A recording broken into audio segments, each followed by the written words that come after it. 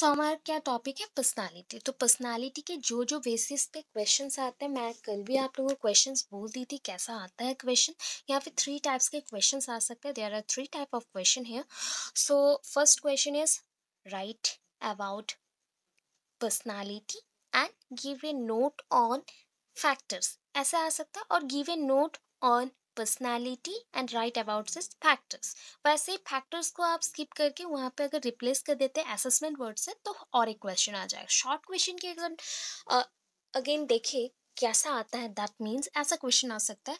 What do you mean by personality और what do you think about the characteristics of personality अगर आप सोचते हैं, क्या सोचते हैं आपकी पर्सनैलिटी क्या है, व्यक्तित्व क्या है? ऐसे शॉर्ट क्वेश्चन आ गया चार मार्क के लिए। तो उसमें भी आपको क्या लिखना पड़ता? मैंने पैटर्न बताया था। आपको पैटर्न बताया था, जो भी पैटर्न नहीं जानते फिर से बता रही हूँ। क्या आपको सेम पैटर्न में ही लिखना है?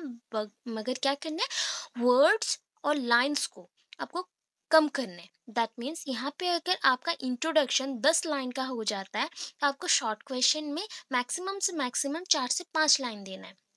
एंड उसके साथ कैरेक्टरिस्टिक्स थोड़ा देना है, चार से पाँच पॉइंट्स फैक्टर्स एक, दो, सिर्फ़ हम लोग डायग्राम्स के थ्रू दे देंगे, ख़त्म कर देंगे। इतना ही है। असेसमेंट नहीं देंगे। शॉर्ट क्वेश्चन में अगर आता है। शॉर्ट में भी जो पूछा जाता है, उसी के बेसिस पे आप नहीं लिखेंगे। इंट्रोडक्शन ज़रूर देंगे। Introduction is compulsory for all question may be short question हुआ तो थ्री टू फाइव लाइन्स में लिखेंगे या maximum five to six line लिख सकते हैं। बट इंट्रोडक्शन में दिए तो मैक्सिमम उसमें भी फाइव टू सिक्स लाइन दे सकते हैं। एंड हार्डली किसी का हैंड राइटिंग अगर चेंज हो रहा है या फिर बड़ा है दैट मीन्स वो टेन लाइन्स भी दे सकता है। कोई प्रॉब्लम नहीं। बिकॉज़ ए न्यू स्टूडेंट आप फोर टू फाइव पेजेस में कंप्लीट करना है। But Nagarjuna sorry Nagarjuna student का तो हो गया। कुरुक्षेत्र स्टूडेंट मैक्सिमम आपको सिक्स या सेवन पेजेस लिखना है। अच्छा किसी को कुछ पूछना है? किसी को कुछ पूछना है? अदरवाइज़ म्यूट कर लीजिए। कोई प्रॉब्लम नहीं है। प्लीज़ म्यूट करिए।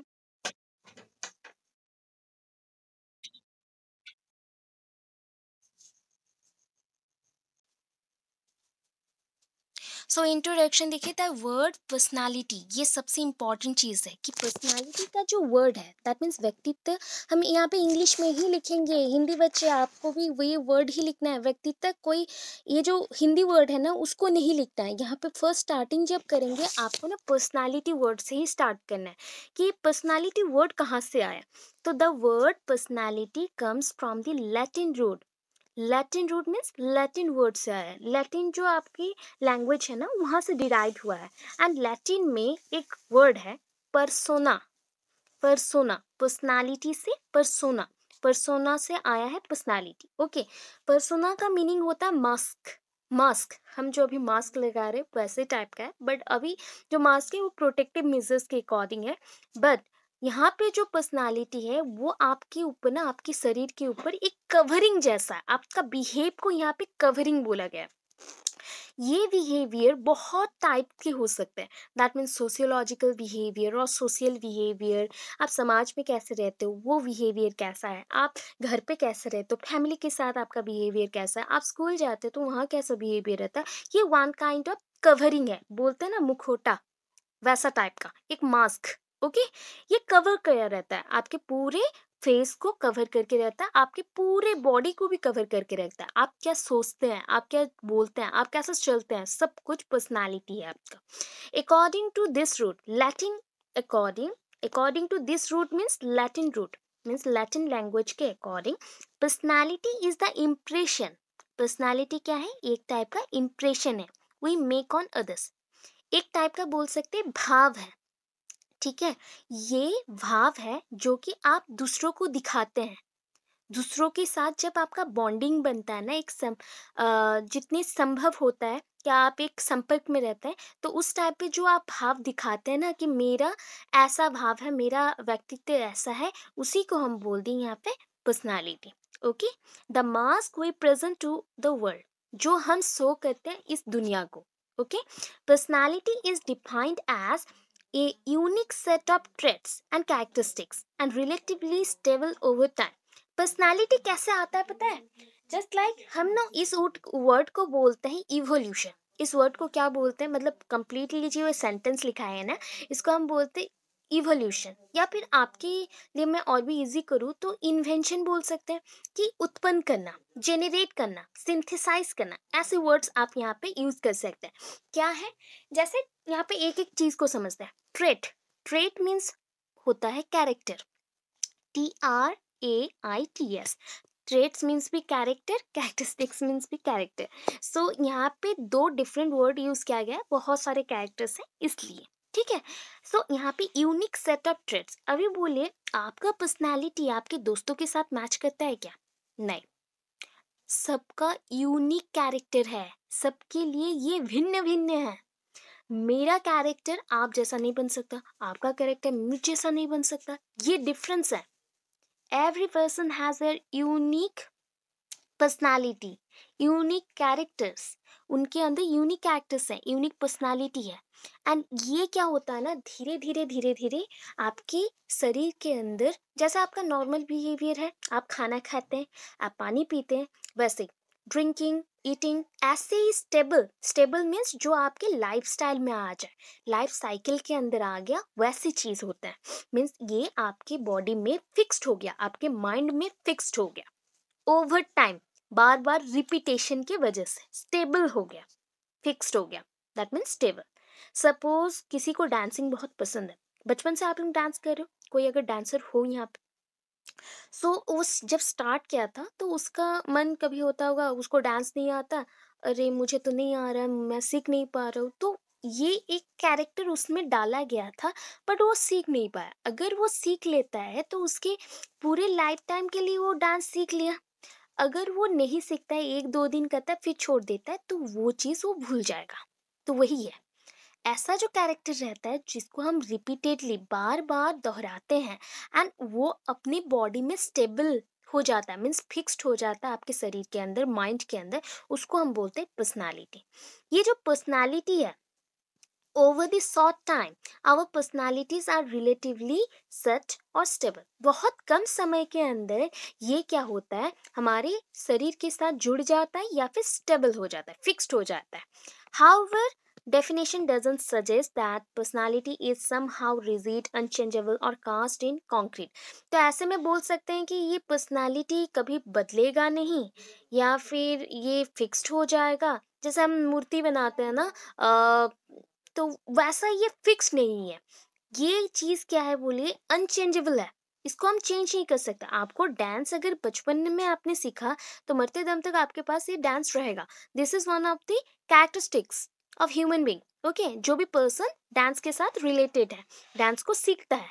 बट ये क्या होता है ना कभी कभी ऐसा कुछ भी चीज़ है, जहाँ पे आप भूल जाते हैं। एक्सीडेंटली आपको चोट लग गया या कुछ हो गया तो आपको भूलना पड़ता है। तो इसलिए बोला गया, अभी तक इसका प्रॉपर डेफिनेशन नहीं आया है, जहाँ पे हम सो कर सके। Where I am saying that it is totally rigid और अनचेंजेबल और कास्ट इन कॉन्क्रीट कहीं पे इसको बनाया गया है फिक्स किया गया है, ऐसा कुछ भी नहीं है। मे बी कुछ पॉइंट के लिए ये पूरा कॉन्क्रीट है या फिक्स्ड है और कुछ पॉइंट के लिए ये चेंजेबल होता है राइट right? समझ गए? अभी नेक्स्ट चलते हैं। बहुत सारे डेफिनेशन मैंने याद दिया है। यहाँ पे मैंने तीन डेफिनेशन दिए हैं। सबसे इंपॉर्टेंट बता दूँ, ये लास्ट वाला डेफिनेशन सबसे इंपॉर्टेंट है। That is a 1948 Allport Allport भी बोलते हैं, हिंदी में एलपोर्ट भी मेंशन है बिकॉज़ ए से स्टार्ट हुआ है तो एलपोर्ट भी बोलते हैं, या ऑलपोर्ट बोल सकते हैं। सो ऑलपोर्ट एक एजुकेशनिस्ट है, जिन्होंने 1948 में डिफाइन किया।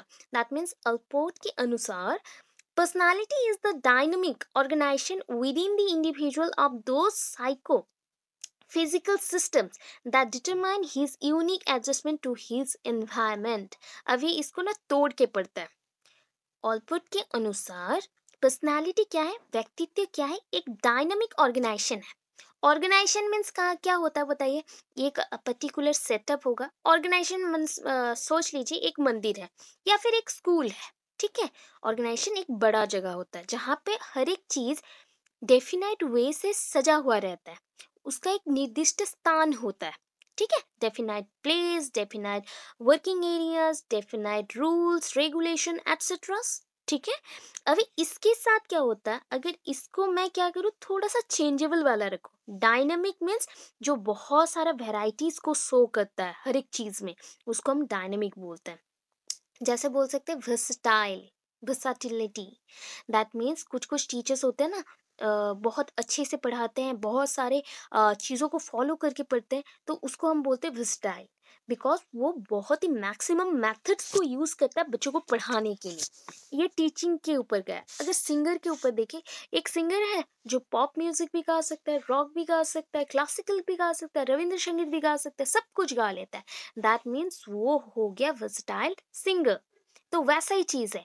ये भी एक टाइप का क्या है? ऑर्गेनाइजेशन है जो कि डायनामिक है मीन्स चेंजेबल है। Within the individual individual के बॉडी के अंदर।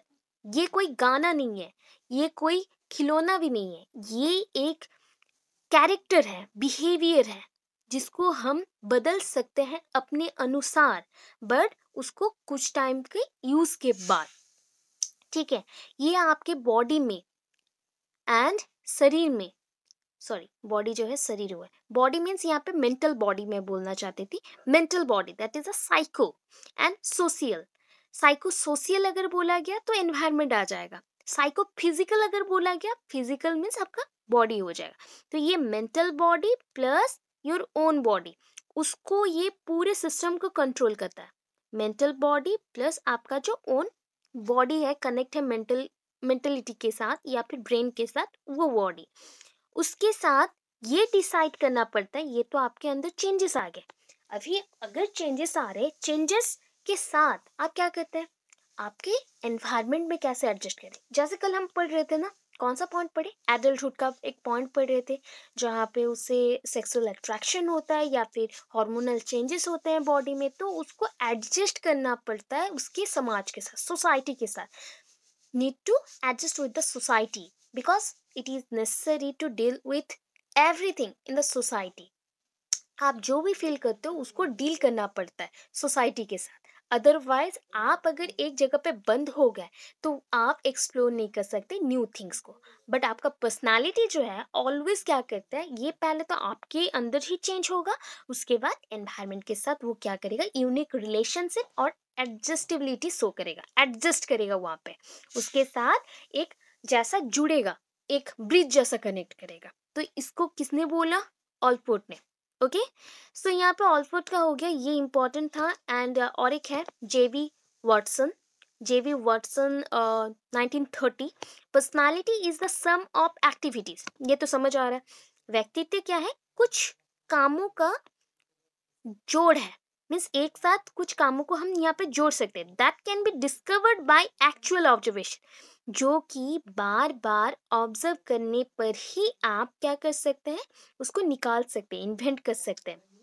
एंड जब आप उसको बहुत ही अच्छे से समझते हैं तो वो आपकी जो दिनचर्चा है ना मीन्स हर दिन जो आपका लाइफस्टाइल है, उसमें इंक्लूड हो जाता है। ठीक है? सपोज़ आपको ना कोई बुक एक दिन पढ़ने को अच्छा लगा तो उस बुक को आपने क्या किया? रेगुलर बेसिस पे पढ़ना लगा। कुछ लोग यहाँ पे होंगे आप में से ही तो वो, उनको पसंद होगा ये पढ़ना। क्या बोलते हैं उसको? नोवेल्स तो नोवेल्स जैसे मुझे बहुत पसंद है नोवेल्स पढ़ना तो आप लोगों को भी, कुछ लोगों को तो पसंद होगा। तो आपने फ़र्स्ट डे में नोवेल्स पढ़ा। अभी सेकंड थर्ड फोर्थ ऐसे ही नोवेल्स का काम चलता रहा। हम लोग पढ़ते रहे। तो पढ़ते पढ़ते ये हमारा हैबिट बन गया एक आदत बन गया ठीक है? यही हमारा पर्सनालिटी अभी बन जाएगा।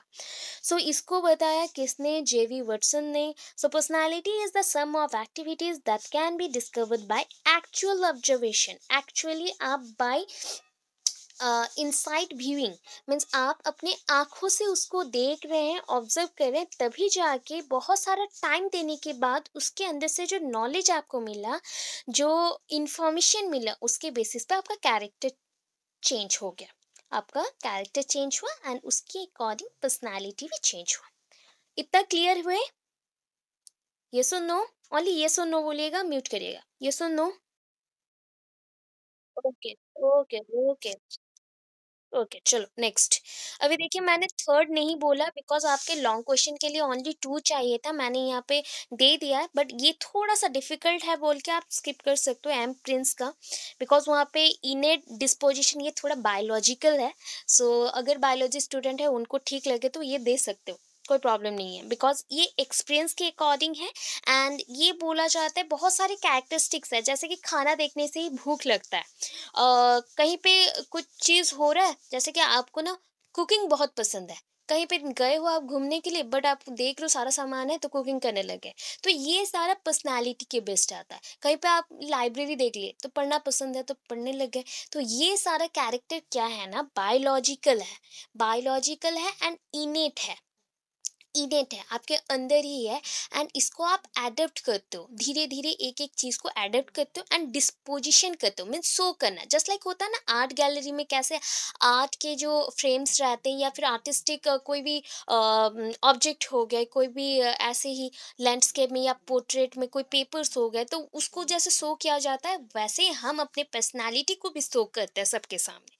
तो ये एम प्रिंस का है बट स्किप कर सकते हो, कोई प्रॉब्लम नहीं है। मैंने एक्स्ट्रा हमेशा दिया है तो एक्स्ट्रा को कट कर सकते हो। ठीक है?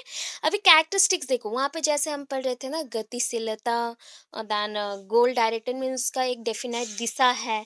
तो वैसे ही पॉइंट्स अभी आएँगे तो मैक्सिमम से मैक्सिमम याद रखिएगा कि आपको only eight to nine points देने हैं। मैक्सिमम एट दीजिएगा, उससे ज़्यादा नहीं। हाँ जहाँ पे आपको मैक्सिमम पॉइंट्स आपके बुक में मेंशन हो ट्वेंटी या ट्वेंटी फाइव वहाँ पे आपको टेन पॉइंट्स प्लस देने याद रहा?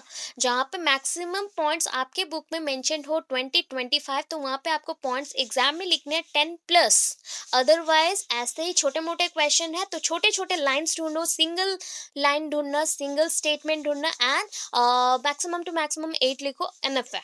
ठीक है? सो एक फ़र्स्ट स्टार्ट करते हैं. That is personality is an internal process that guides behaviour ये इंटरनल प्रोसेस है. आपके अंदर ही है.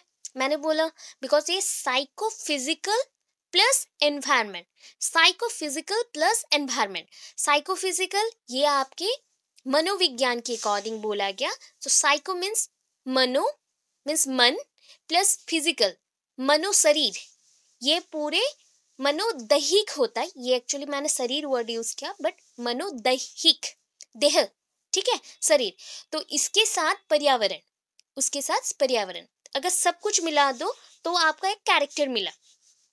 वो हो गया आपका धीरे धीरे आपने उसको रेगुलर यूज़ किया, जैसे होता है ना पॉलिशिंग करना। पॉलिश करने से, नरिश करने से बच्चे जैसे अच्छे से ग्रो करते हैं, वैसे ही टाइप का है। अच्छे विचार सिखाओगे, अच्छे कैरेक्टरिस्टिक्स डालोगे तो बच्चे में भी डेवलपमेंट होगा।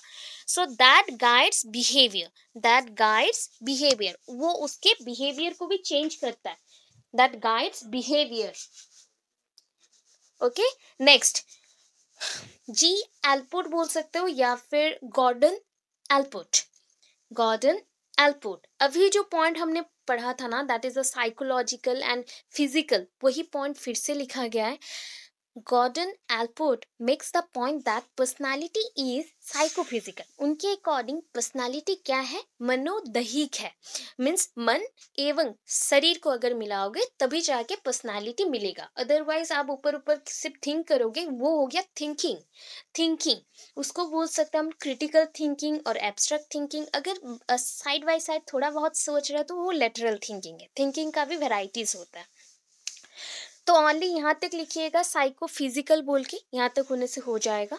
Then third point biological and genetic phenomena do have an impact on personality अभी पर्सनालिटी के ऊपर, माने व्यक्तित्व के ऊपर, किसका effect okay physical that means आपका शरीर ओके okay? बॉडी आपका शरीर एंड सेकंड होता है आपको साइको और साइकोलॉजिकल दैट मीन्स होता है हम उसको बोलते हैं मनोज्ञान और आपका जो मनो बिहेवियर है, मनो आप बोल सकते हो मन के अकॉर्डिंग या फिर मन के हिसाब से जो भी है.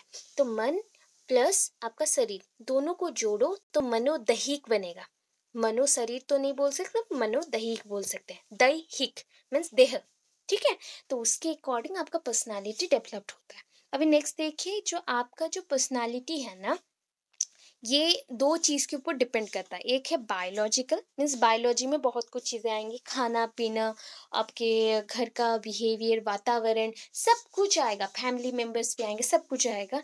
उसके साथ आएगा जेनेटिक्स जेनेटिक्स बोलो तो उस दिन भी हम लोग पढ़े थे क्रोमोसोम गुणसूत्र, जो भी पढ़े थे जीन क्योंकि ये कैरेक्टरिस्टिक्स आनुवांशिक है।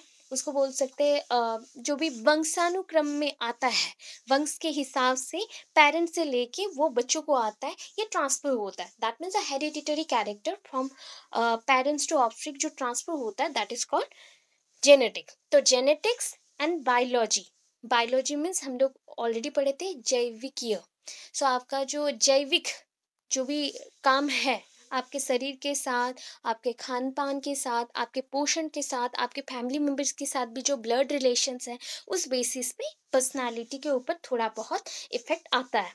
Then, fourth point, personality is dynamic. Personality क्या है? डायनेमिक है। Means changeable. व्यक्तित्व चेंजेबल हो सकता है। तो इसको बोलते हैं गतिशीलता। ये गतिशील है। ठीक है? Fifth point, personality is goal directed. Means इसको एक निर्दिष्ट हम दिशा दे सकते हैं। इसका कोई एक स्पेसिफिक एम्स है, ठीक है? Next personality also maintains uniqueness characters और बिहेवियरल कैरेक्टर्स आपके अंदर पर्सनालिटी एक यूनिक कैरेक्टर लाता है या फिर आपके अंदर बिहेवियर में आप, आपका जो चेंजेस है ना, उसको भी एक कैरेक्टर में बदलता है। Personality also has the ability to adjust with the society and इसको बोलते हैं सोशियाबिलिटी सोसाइटी में रहने के लिए, समाज में रहने के लिए जो आपके पास एबिलिटी है ना, उसको बोलते हैं सोशियाबिलिटी और हम बोलते हैं एडजस्टमेंट विद द सोसाइटी ये होता है समाज के साथ आप मिलजुल के रह रहे हैं या फिर सोसाइटी में आपका कैरेक्टर है, आपके पास एबिलिटी है कि आपको रहना है। तो ये एबिलिटी के थ्रू आप एक साथ रह सकते हैं। तो समाज में मिलजुल के रहना ये आपका पर्सनालिटी में एक कैरेक्टर होना चाहिए। व्यक्तित्व का एक कैरेक्टर और विशेषता होना चाहिए। अभी नेक्स्ट एक good personality means adjust with the environment यहाँ पे एनवायरमेंट वर्ड छूट गया। अगर भूल जा रहे हैं आप लोग तो उस लाइन को स्किप कर दीजिए, मैं बाद में बता दूँगी। A good personality means adjust with the society जैसे लिखे तो वहाँ पे और एक होगा, a good personality means adjust with the environment particular यहाँ पे एनवायरमेंट मीन्स वातावरण हो या पर्यावरण हो, उसके साथ मैच करना खुद को। होता है बहुत ज़्यादा प्रॉब्लम। जब भी हम शिफ्टिंग करते हैं एक स्टेट से दूसरे स्टेट को या एक एरिया से दूसरे एरिया को, तब ये सारे प्रॉब्लम्स आते हैं। ठीक है? So personality is whole rather than it's parts एक बोल सकते हैं ना पर्सनालिटी अपने आप में ही कंप्लीट है। Means personality is one of the complete think ऐसा नहीं है उसमें कुछ हाफ़ पार्ट है हाफ़ पार्ट नहीं है। इसको हम होलली देखते हैं कंप्लीट में देखते हैं। एक है इसका कोई आधा अधूरा चीज़ नहीं होता। पर्सनालिटी, आपको पर्सनालिटी जैसा है कि आप एक टीचर हैं तो ये पर्सनालिटी आप में कम्प्लीटली है। ऐसा नहीं है जो आप आधा टीचर है, आधा डॉक्टर है, ऐसा नहीं बन सकते।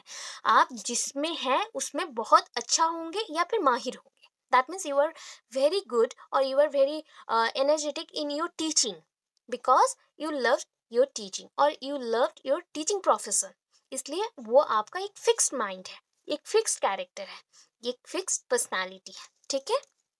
अभी जैसे आपका डेवलपमेंट था, डेवलपमेंट में दो चीज़ तो इंपॉर्टेंट है, that is the heredity and environment तो यहाँ पर भी क्या है? वही आनुवंशिक और वंशानुक्रम और पर्यावरण एनवायरमेंट एंड हेरिडिटी यहाँ पे भी इफ़ेक्ट कर रहा है पर्सनालिटी को। Then last one personality is made up of traits personality में बहुत सारे छोटे छोटे कैरेक्टर्स होते हैं। ठीक है? इतने पॉइंट्स हैं। अभी मीनिंग में चलते हैं। मीनिंग में मैं फटाफट बोलती हूँ इंट्रोडक्शन में जो ही था वही लिखना है। That is a meaning Latin word से आया है। लैटिन कौन सा वर्ड है?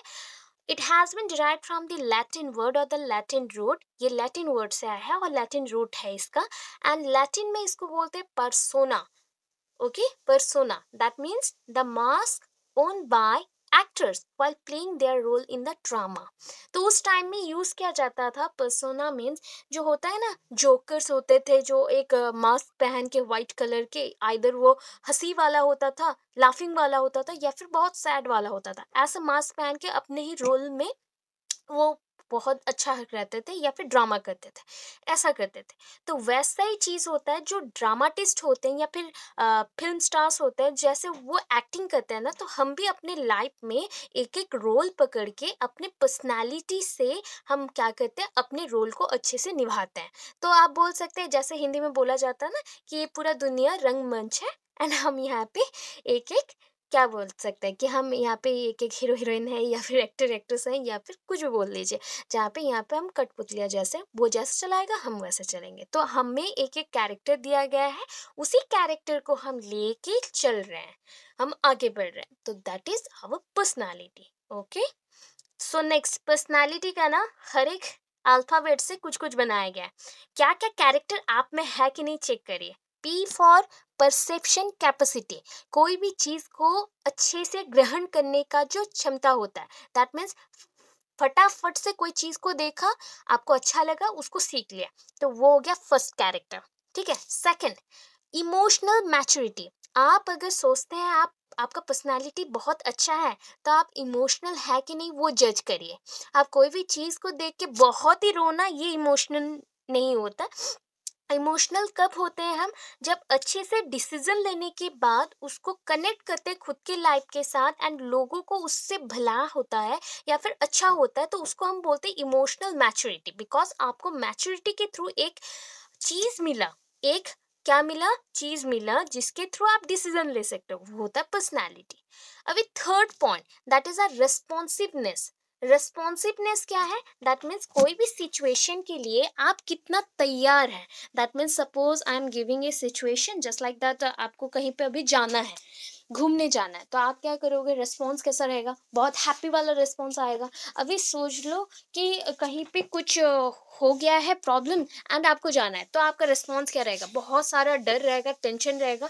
वैसा होता है कि आपका सिचुएशन बेस्ड जो भी रिस्पॉन्स होता है, एक आपको कोई सिचुएशन दे दिया गया, एक जैसे पोजिशन में हम रख दिए एंड वहाँ पे आपको सो किया जा रहा है एक सिचुएशन तो उसके अकॉर्डिंग आप कौन सा रिस्पॉन्स देते हैं? ये इंपॉर्टेंट है। देन नेक्स्ट आता है सोशियाबिलिटी अभी पढ़ के आए सोशियाबिलिटी मीन्स सोसाइटी में रहने लायक हम है कि नहीं? अपने पर्सनालिटी के अकॉर्डिंग अपने रोल के अकॉर्डिंग ऑरिजिनलिटी आप कितने ओरिजिनल वे में खुद को प्रेजेंट करते हैं, वो आपका ओन पर्सनालिटी है. आपने खुद उसे जीता है, आपके पास ऑलरेडी है एंड आप उसके थ्रू अच्छे अच्छे कामों को कर सकते हैं. That is a originality and for neutrality neutrality means कोई भी चीज़ को देखो तो वो अगर रॉन्ग नहीं है तो वहाँ पे न्यूट्रल रहो। अगर वो सही है तो सही है मीन्स आपको न्यूट्रल रहना है। रॉन्ग है तो आवाज़ उठाना है। तो ये होता है न्यूट्रलिटी कि कहीं पे भी अच्छा मैंने रॉन्ग देखा एंड कुछ बोला नहीं तो ये गलत होगा। न्यूट्रलिटी पॉजिटिव सेंस में अगर हम न्यूट्रल रहे तो बेटर रहता है पर्सनैलिटी अच्छा ए फॉर अपियरेंस आप खुद को कितना शो करते हैं? That is your your an extrovert और इंट्रोवर्ट ऐसा होता है ना, आप अंदर ही अंदर सोच के उसको छुपा लेते हैं या फिर एक्सपोज करते हैं अपनी थिंकिंग को। तो उसके बेसिस पे होता है कि आपको हमेशा एक्सट्रोवर्ट होना चाहिए। इंट्रोवर्ट नहीं, खुद अपने बारे में सिर्फ़ सोच के ऐसा करें नहीं। आप हमेशा सबके बारे में सोचें तो ये बेटर होता है आपका अपियरेंस आपका जो एक एंट्री होता ना तो वो अच्छा होता है आपके पर्सनालिटी के साथ। L for leadership feeling leadership feeling means as a teacher आपको ऑलवेज थिंक करना चाहिए कि आप हमेशा हर जगह लीड करेंगे। लीडर डजेंट मीन कि वट एवर यू थिंक और you have fix idea about one thing but you want to change it because the world need it okay world इसको नीड करता है, या फिर सोसाइटी इसको नीड करता है। So as a teacher as a good leader you have to change it according to your positive views not for negative views और not with the negative views आप कभी भी अगर कोई चीज़ को चेंज करना चाहते हैं एज ए लीडर सो आप क्या करेंगे? वहाँ पे अपनी पर्सनालिटी के अकॉर्डिंग अच्छा करिए। Maximum to maximum every penny जैसे यूज़ करते हैं ना आप घर के कामों पे मतलब एक एक पैसा को जोड़ जोड़ के यूज़ करना, हर एक चीज़ में यूज़ करना इक्वली वैसे ही होता है। जब आपके बच्चे दो हैं तो दोनों को आप इक्वल देते हैं तो आपके पास, आप टीचर हैं, आपके पास सौ बच्चे पढ़ेंगे तो आपको इक्वली सबको ट्रीट करना है, ठीक है? ये लीडर बताता है। आप वहाँ पे लीडरशिप कैरेक्टर होते हैं। ये नहीं होता कि लीडरशिप कैरेक्टर में ऑलवेज आपको डिसीज़न लेना पड़ता है, ऑलवेज आपको डायरेक्शन दिखाना पड़ता है, ऑलवेज आपको ओनली पॉजिटिव वे में चलेंगे या फिर आपको जो अच्छा लग रहा है ऐसा करेंगे। ऐसा नहीं होता लीडरशिप मीन्स होता है गुड सेंस में आप सबको मिलजुल के रखने के लिए हेल्प करेंगे, एक साथ रहेंगे। दैट इज़ का इको फ्रेंडली एनवायरनमेंट हम बना रहे इको फ्रेंडली जहाँ पे सबको मिलजुल के रहे, अपना डिसीज़न दे सके, पॉजिटिव पर्सनालिटी बिहेवियर शो करे, आपको सब कोई लीडर माने। ऐसा नहीं कि आपको डर के माने, आपको प्यार से माने okay leadership feeling then I for integrated अभी मैंने बोला था आई इंटीग्रेटेड मीन्स होता है बहुत सारी चीज़ों को एक साथ जोड़ना, एक साथ जोड़ना। So suppose I am linking two और more things in a particular time, just like i'm linking the study material with my subject, or i'm linking the singing with the cooking so cooking के साथ जो cooking कर रही हूँ, उसी को लेकर मैं सिंगिंग कर रही हूँ। तो ऐसा जो लिंक करते हैं ना, उसको बोलते हैं इंटीग्रेशन तो इस पॉइंट पे पर्सनालिटी में आपने जो जो सीखा अपने पूरे लाइफ में, उसको पर्सनालिटी के अकॉर्डिंग शो करना, उसको बोलते हैं integration tendency T for tendency personality में आ गया ना लास्ट टी एंड वाई है तो T for tendency tendency means बार बार करना रिपीट करना अगेन अगेन अगेन ऐसे रिपीट करते रहना repeat again so repeatedly same thing को अगर आप परफॉर्म करते तो वो आपका हैबिट बन जाता है ठीक है? तो personality one kind of habit है which doesn't change by uh, any other behaviour और ओवरलैपिंग बिहेवियर कोई अदर बिहेवियर आके उस पर अगर दब गया या फिर ओवरलैप्ड कर रहा है तो उसकी वजह से ये बदलेगा नहीं। ये आपने बहुत टाइम यूज़ किया, उसको रिपीटेडली किया, इसलिए वो आपके साथ ही आपका हैबिट बन के रहेगा। अभी last Y Y is young young in thinking आपकी सोच हमेशा नया होना चाहिए। दैट मीन्स न्यू होना चाहिए। Always think about the new structure new building new ideas new creativity thinks ऐसा सोचना चाहिए। जब भी आप सोचें ना, हमेशा थिंक करें कि हम नए हैं। ऐसा नहीं हाँ हम तो एजेड हो गए हैं, हम नहीं कर सकते। ऐसा नहीं थिंक करना चाहिए। Positivity should be there positivity हमेशा रहना चाहिए। ये ज़रूरी भी है। ठीक है, ये पर्सनालिटी है। एंड स्पेशली टीचर्स के लिए है कि टीचर्स अपनी पर्सनालिटी ऐसे चेक करेंगे, इतनी चीज़ें होनी चाहिए उनमें, तब जाके बच्चों में भी वो डाल सकते हैं। ठीक है, अभी देखिए डेवलपमेंट ऑफ़ पर्सनालिटी क्या क्या डेवलपमेंट होना है? अभी जो जो चीज़ें पढ़े ना, उसके बेसिस ये फिजिक आपका जो शरीर के अकॉर्डिंग जो चेंजेस आते हैं ना पर्सनालिटी उस पर भी काम करता है तो वो केमिक केमिक क्या होता है? आपका हार्मोन मीन्स केमिकल्स, रासायनिक। तो आपके बॉडी में बहुत सारे रासायनिक पदार्थ भी हैं तो उसको भी हम क्या करते हैं, अपनी जो पर्सनालिटी में है ना, उसको डालते हैं। कैसी? जैसे कि यहाँ पे ना मैं बहुत सारे ग्लैंड्स बोल रही हूँ। इसको हम बोलते हैं ग्रंथि। पिट्यूटरी ग्रंथि थायराइड ग्रंथि एड्रेनल ग्रंथि एंड सेक्स ग्रंथि। ठीक है, ये सारे जो वर्ड्स हैं, इसके वर्ड्स बहुत हिंदी में डिफ़िकल्ट आते हैं तो इंग्लिश में ही आप लिख सकते हैं या इंग्लिश को ओनली हिंदी में बदल दीजिए एंड लिख लीजिए। सो पिट्यूटरी के अकॉर्डिंग पिट्यूटरी जो ग्रंथि है, उसमें से जो हॉर्मोन्स आते हैं the pituitary gland present in the high present in the brain below the hypothalamus okay hi अभी इतना बोल दूँगी बायोलॉजी तो हो गया।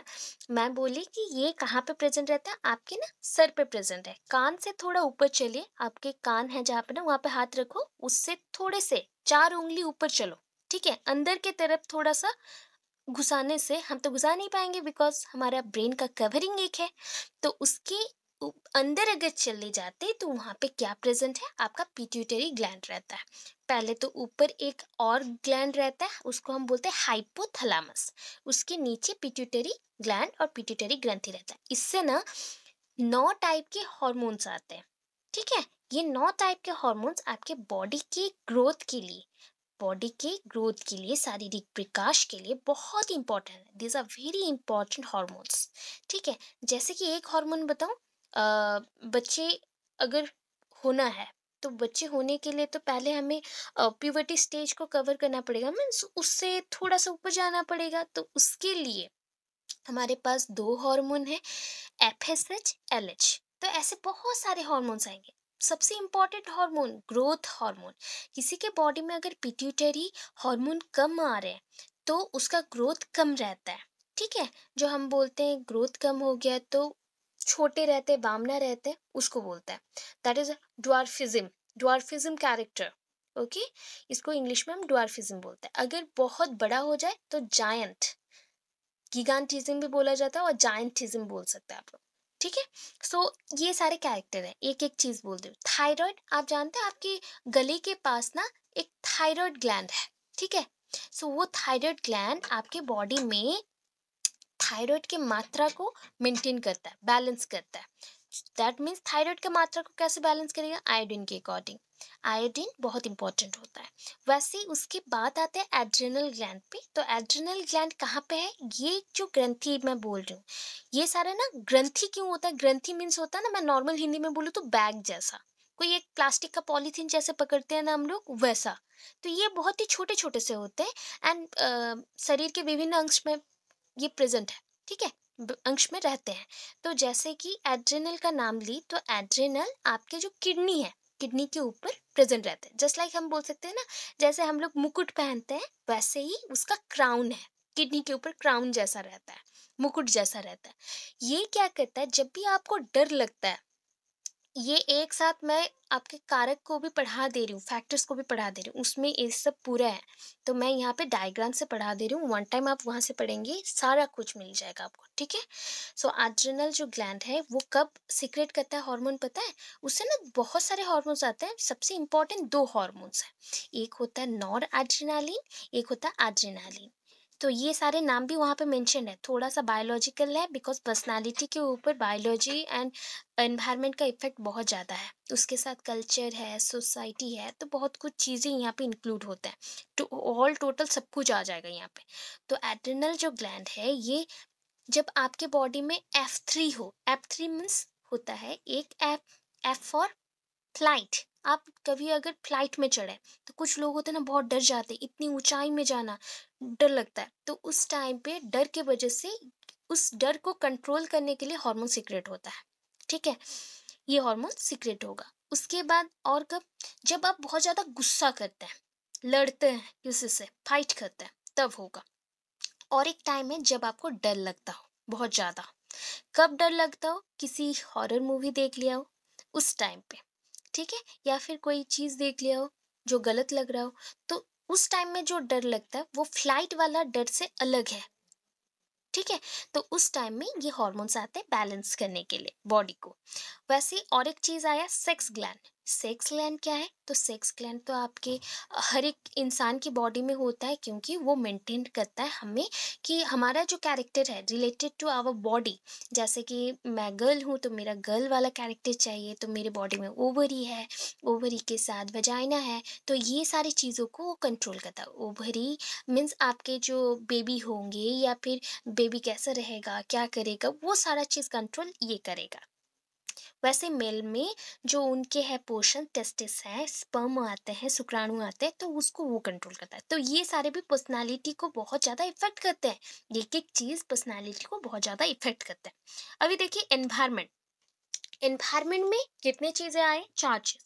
Home, school, society, cultural difference. Home. सबसे पहला एनवायरमेंट अच्छा एनवायरमेंट कहाँ मिलता है आपको? घर पे। Because a home is just like a temple when your family members are linked together and think about each other or blood relation should be there अगर आपके जितने भी फैमिली मेंबर्स हैं उनके अंदर खून का रिश्ता है एंड एक दूसरे के बारे में आप सोचते हैं एंड आप जो भी आता है उसको शेयर करते हैं एक दूसरे से बांटते हैं तो वो घर ना मंदिर बन जाता है अभी ये चीज़ हुआ कि घर का वातावरण कैसा रहना चाहिए सपोज़ मैं बोलूँ कि घर का वातावरण बहुत ही बुरा हो तो बच्चा कैसे बनेगा? बहुत बुरा बनेगा? अगर अच्छा हो तो फ्रेंडली बिहेवियर शो करेगा। वो भी होमली बिहेवियर फ्रेंडली बिहेवियर बस घर में सब कोई आए तो अपने फैमिली मेंबर जैसे हैं, अपने ही घर के सदस्य हैं एंड एक साथ रहेंगे। तो वो बिहेवियर होना तो बच्चे का पर्सनालिटी भी बहुत अच्छा होता है। स्कूल स्कूल हम बहुत बार पढ़ चुके हैं कि स्कूल एक मिनिएचर सोसाइटी है। एक छोटा सा सोसाइटी है जहाँ पे ना विभिन्न धर्म के, जाति के लोग पढ़ने आते हैं। बच्चे पढ़ने आते हैं। तो यहाँ पे जब पढ़ने आते हैं तो हम बहुत सारे कल्चर के बारे में सीखते हैं। बहुत सारी चीज़ों के बारे में जानते हैं कैसे आ, हम जब पढ़ाई करते हैं तो कैसे रूल्स बदलते हैं या फिर एक शिक्षक के लिए रूल्स क्या रहते हैं? एक बच्चे के लिए रूल्स क्या होते हैं? पढ़ने के लिए भी रूल्स क्या होते हैं? सारे रूल्स को हम सीखते हैं। तो ये हमारे पर्सनालिटी को रेगुलेट करता है। जैसे एक गाड़ी को आप रेगुलेट करते हो, चलाते हो, वैसे स्कूल भी स्कूल कैरेक्टर्स भी आपको चलाता है। Okay then society society also in bigger things हम बोल सकते हैं इन बिगर टर्म्स और bigger definition it is very important and society contents everything आप जो चाहते हैं, वो सारा चीज़ सोसाइटी में है। सोसाइटी में आपको विभिन्न धर्म के इंसान मिल जाएँगे। There are lot of persons with a lot of cultures religious और रिलीजियंस बहुत सारे रिलीजियस फैक्टर्स भी रहते हैं, उसके साथ रिलीजियंस के भी है। यहाँ पे जैसे आप, हम पढ़ रहे हैं ना अभी तो मैं अगर हिंदू हूँ, यहाँ पे मुस्लिम भी है, यहाँ पे क्रिश्चियन भी है, जैन भी है, सिख भी है, पंजाबी भी है, सब कोई है, उड़िया भी है तो इतने सारे जो धर्म हो गए एक साथ हम करें तो ये एक टाइप का सोसाइटी बन गया अभी हमारा सोसाइटी और बड़ा फैमिली ठीक है? इसके अंदर हम लोग एक साथ अपने आ, सारे जो भी प्रॉब्लम्स हैं उसको भी सॉल्व करते हैं अपने जितने भी रूल्स रेगुलेशन है स्टडी के रिलेटेड उसको भी पढ़ रहे हैं तो हम वन काइंड ऑफ़ अपने पर्सनालिटी को नरिशमेंट प्रोवाइड करें मीन्स हम उसको पोषण दे रहे हैं कि इसके थ्रू आप आगे बढ़ोगे आगे चलोगे। हो गया। कल्चरल डिफरेंस, अभी देखिए, अभी बोला कल्चर बहुत सारे हैं तो उसके साथ डिफरेंस भी रहेंगे। धर्म के अनुसार सारा कल्चर बदलता है। तो ये सारे फैक्टर्स अभी जो पढ़े आपने, वही सारा है। पर्सनालिटी फैक्टर जैसे बायोलॉजिकल फैक्टर अच्छा पर्सनालिटी फैक्टर मीन्स जो कारक व्यक्तित्व को थोड़ा सा प्रभाव डालता है, उसको हम अभी लिख रहे हैं। व्यक्तित्व के प्रभाव के लिए जो कारक ज़रूरत है, उसको लिख रहे हैं। That is biological factor sociological factor psychological factor उसमें आपने लिख दिया फिजिक केमिक नर्वस सिस्टम नर्वस सिस्टम में सारे नर्व्स आ जाएँगे यहाँ पे। Then home school language culture language भी आप लर्न करते हो स्कूल से भी, घर से भी एंड सोसाइटी से भी। And psychological factors psychological means आपके मन के ऊपर क्या इफ़ेक्ट कर रहा है? देखिए, आपके लॉजिकल थिंकिंग को क्या चेंजेस कर रहा है? तो ये इतना ज़्यादा लिखना नहीं पड़ता intelligence motivation emotion attitude interest sentiments and यहाँ पे देखिए फैक्टर्स अफेक्टिंग पर्सनालिटी मैंने छोटे छोटे पॉइंट्स में पहले डिवाइड कर दिया। अभी ये जो मार्क है ना, इसको मैंने दिया है पॉइंट वाइज करने के लिए। Because physical constitution of an individual ये चेंज होता है। अगर हार्मोन में बदलाव आए तो आपका ग्रोथ कम या ज़्यादा हो सकता है। आप उतने ही स्ट्रॉन्ग या वीक हो सकते हैं। शॉर्ट हो सकते हैं स्टाउट हो सकते हैं या टॉल एंड थीन भी हो सकते हैं। लंबे हैं बट पतले हैं, छोटे हैं बट मोटे हैं, ऐसे टाइप के हो सकते हैं। हाइट वेट सब कुछ चेंज हो सकता है, वैसा। सो इंटेलिजेंस में भी डिफरेंस आ सकता है सेक्स में भी डिफरेंस आ सकता है जो जो पॉइंट अभी पढ़ा वही सब है। अभी जो ग्लैंड्स पढ़ा था, देखिए adrenal gland thyroid gland pituitary gland and other endocrine gland अभी एंडोक्राइन मीन्स होता है, आपके बॉडी के विद इन है एंड ये डकलेस है, ठीक है? तो इसको हम छोड़ देते हैं अभी। अभी देखिए एनवायरमेंट एनवायरमेंट में क्या होता है? अभी सोशल एनवायरमेंट है। मिस सोसाइटी यहाँ पे आ गया। तो आप क्या सीख रहे सोसाइटी से? From society we learn social attitudes interest and social values also means moral ideas आप क्या क्या सीख रहे समाज से? कौन सी टाइप के बिहेवियर आप करना है, वो सीख रहे मीन्स आप सोशल एटीट्यूड सीख रहे सोसाइटी में, समाज में रहने के लिए जो व्यवहार और विशेषताएँ आपको चाहिए, वो सीख रहे आपके इंटरेस्ट के अकॉर्डिंग उसके बाद आता है कि आप सोसाइटी में खुद को जोड़ रहे that is called social self आप सोसाइटी को खुद से जोड़ रहे या खुद को सोसाइटी से जोड़ रहे हैं। एंड उससे ना बहुत सारे मोरल वैल्यूज़ सीख रहे हैं। मीन्स अच्छे अच्छे वैल्यूज़ को सीख रहे हैं आइडियाज़ को सीख रहे हैं। तो उस हिसाब से यहाँ पे पॉइंट बना एनवायरमेंट का। इसके बाद ना इन्वायरमेंट बहुत टाइप का है। फ़िज़िकल एनवायरमेंट जहाँ से आप फ़िज़िकल चेंजेस uh, आपके बॉडी के चेंजेस के ऊपर क्लाइमेटिक कंडीशंस में कुछ कुछ रहता है। ऐसा होता है ना मैं अगर uh, अभी कोलकाता जैसे एरिया में रहती या फिर मैं जम्मू में रहती तो हमारा कलर थोड़ा सा चेंज हो जाता बिकॉज़ हमें ठंडा में रहना पड़ता है एंड uh, वहाँ पे सनलाइट नहीं आता है तो सनलाइट नहीं आता है तो सो so, हम कहाँ पे थे? तो लास्ट में आ गए। दैट इज़ हम यहाँ पे एनवायरनमेंट के बारे में पढ़े थे। जैसे कि आप देख सकते हैं यहाँ पे कुछ पॉइंट्स था एनवायरमेंटल रिलेटेड सो आपके जो साइकोलॉजिकल फैक्टर्स हैं उसमें जाने से पहले आप यहाँ पे देखिए होम स्कूल लैंग्वेज कल्चर है। सोशियोलॉजिकल फैक्टर्स है। सोशियोलॉजिकल फैक्टर मीन्स सामाजिक कारक। अभी सामाजिक कारक मीन्स जो घटना घटती है उसके लिए जो चीज़ें रहती है ना उसको हम कारक बोलते हैं। ठीक है, अभी जो चीज़ करता है, घटाता है, वो चीज़ होता है कारक। अभी सामाजिक कारक में क्या क्या आएँगे?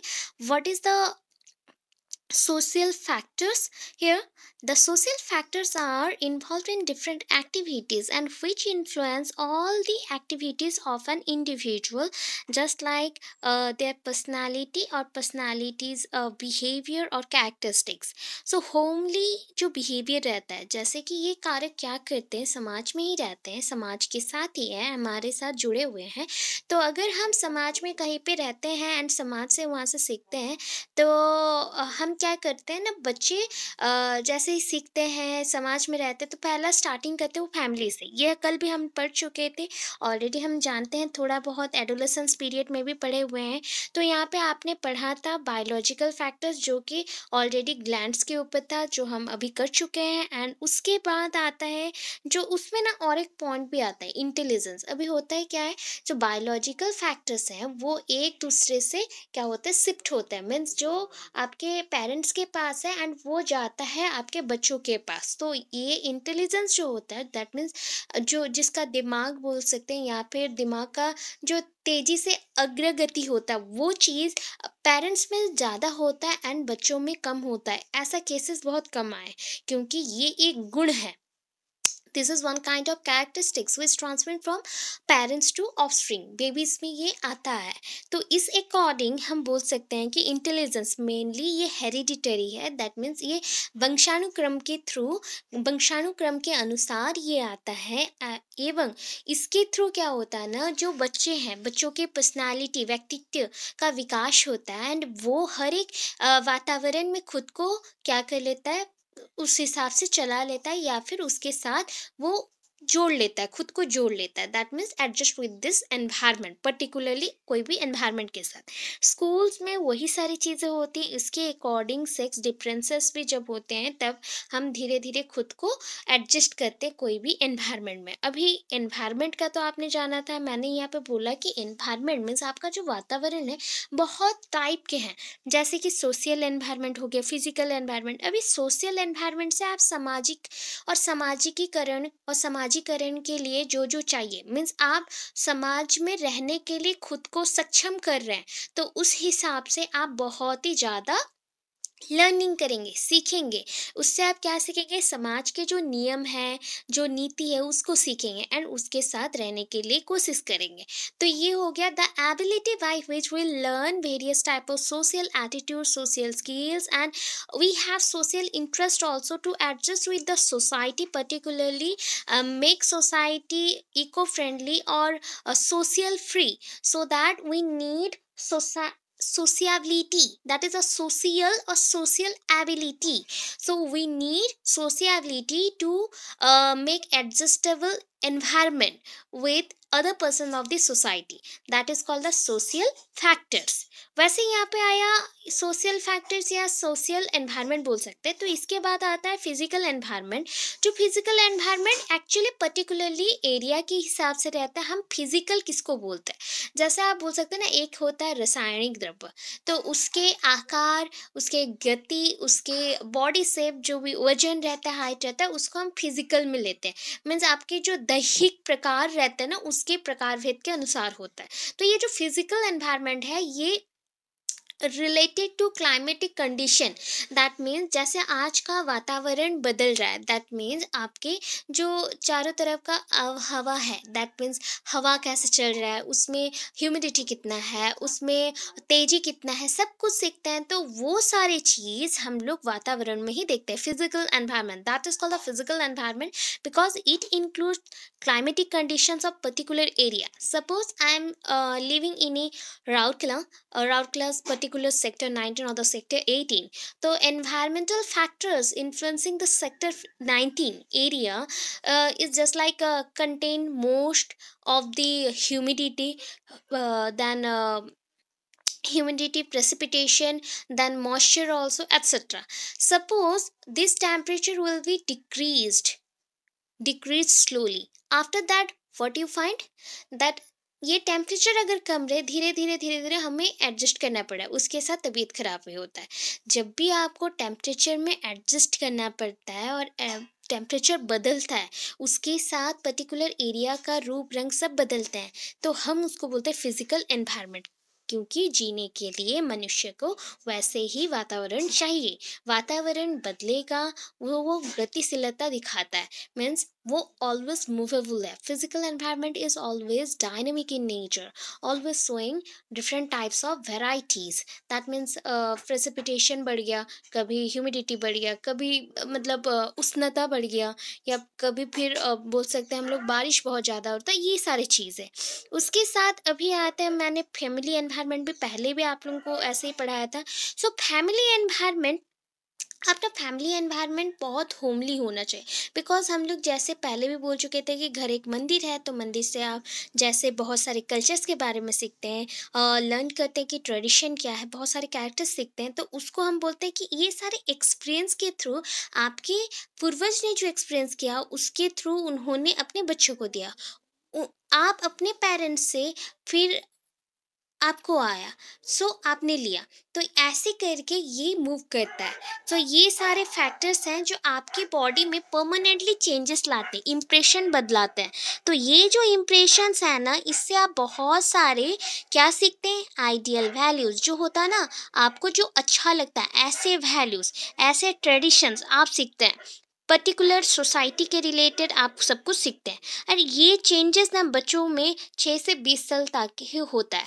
मतलब six to twenty years is mostly crucial period because teenage period is within it so whenever we go through it so we learn more and more every day.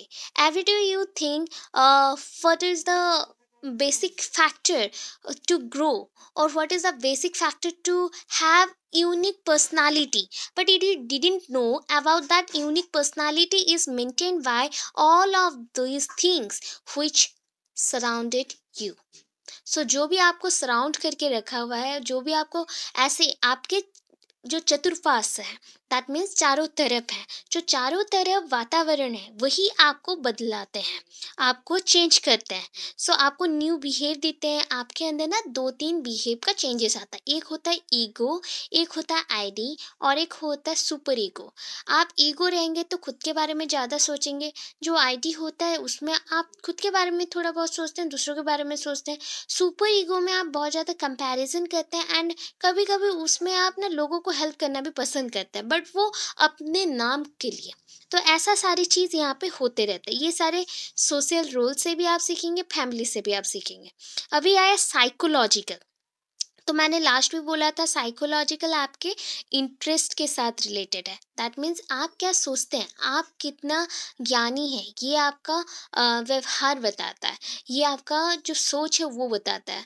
How much knowledge you have that will be sewing by or that will be uh, sewed by you not by your family members because you have it not your parents have it okay so आपके पास ये चीज़ है parents के पास नहीं है आपको मिला है तो आप कैसे कर रहे हैं? सबको देख के आपने लर्न किया लर्न करके आपके कैपेसिटी को आपने इंक्रीज किया। आप ने ऑब्ज़र्व किया, कोई चीज़ को रिसीव किया दैट मीन्स ग्रहण किया। तो इससे क्या हुआ? आपका माइंड और थोड़ा ग्रो कर रहा है।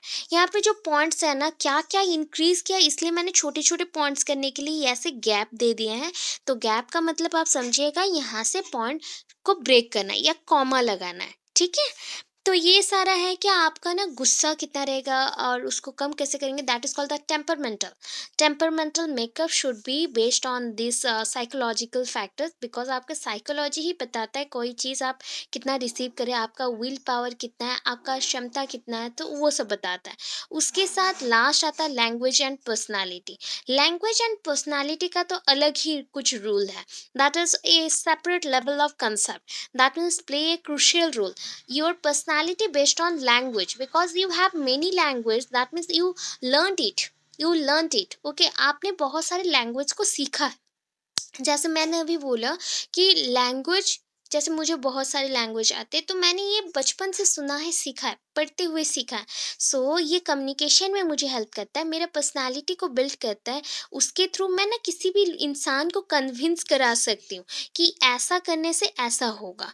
So no mastery in art of expressing our हम अगर लैंग्वेज नहीं जानते तो हमें मास्टरी भी नहीं मिलेगा। मीन्स हमें नॉलेज भी नहीं होगा ज्ञान भी नहीं होगा हम ज्ञात भी नहीं कर पाएँगे कि हमें किस तरह से किसी इंसान को कुछ समझाना है या बताना है। कोई भी चीज़ अगर अच्छा लग रहा है उसको कैसे शो करे उसको कैसे मांगे तो वो नहीं कर सकते। Communication skills acquired the with the time and practice communication skill कैसे बढ़ता है? कम्युनिकेट करना। यहाँ पे दो चीज़ होता है। एक होता है सेंडर दूसरा होता है रिसीवर जैसे अभी मैं आपके लिए सेंडर हुआ I am the sender here you are the receiver ठीक है? सो so, हम दोनों अभी बातचीत कर तो क्या होगा?